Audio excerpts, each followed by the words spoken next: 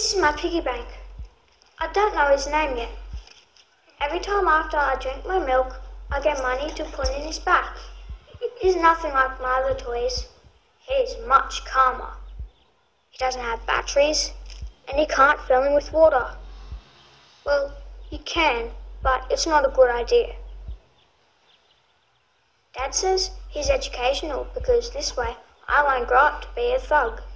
But I think the coolest thing about him is his smile. Look, I'll show you. I put 50 cents in his back and he smiles like this. I put 20 cents in and look, he smiles exactly the same.